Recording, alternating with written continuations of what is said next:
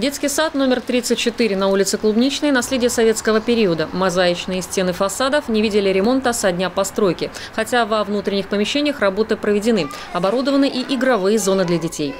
Сегодня в детском саду за счет поддержки шефов обновляют наружные стены корпусов, проведут благоустройство зеленых зон, обновят и детские площадки. 15 июня мы планируем сделать 1100 квадратных метров фасада, то есть отбить старую плитку, провести укрепительные работы, отшпаклевать и, соответственно, нанести караеты, покрасить. В 110-м детском саду на улице Гранатной глава города побывал еще в прошлом году. Проблем на тот момент было немало. Долгое время они не решались. Но благодаря поддержке сочинских единороссов дом для нескольких сотен юных сочинцев превратился в настоящий дворец. Работой шефов мы очень довольны, потому что у нас э, заменили все окна, сделали нам э, красивый большой медицинский блок, э, туалет, изолятор, процедурную, медицинский кабинет, сделали коридоры, сделали вот эту замечательную изо-студию, где занимаются дети, э, ну, и всем очень-очень нравится.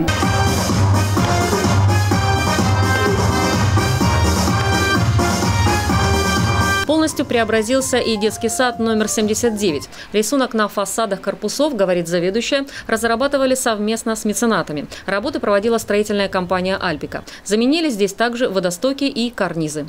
Фасад очень красивый.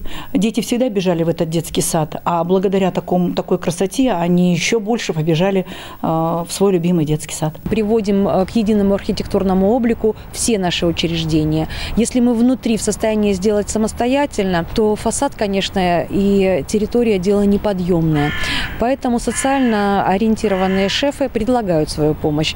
Э, есть такие, которые полностью могут сделать фасад. Работа это не на 1 миллион работа достаточно трудоемкая.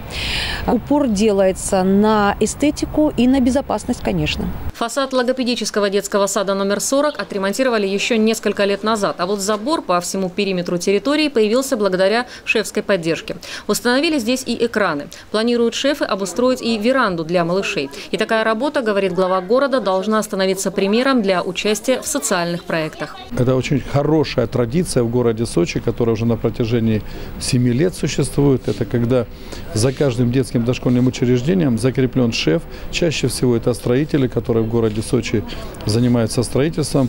И задача шефа – это всячески поддерживать детские дошкольные учреждения в очень красивом виде. Вот это принципиальная э, наша позиция, чтобы детские дошкольные учреждения и школы были всегда просто в великолепном, хорошем состоянии. Сегодня многие социальные объекты благоустраиваются, и это положительный пример, отмечает Анатолий Пахомов, на который должны ориентироваться горожане, поддерживая в чистоте, в том числе дворы, придомовые и частные территории.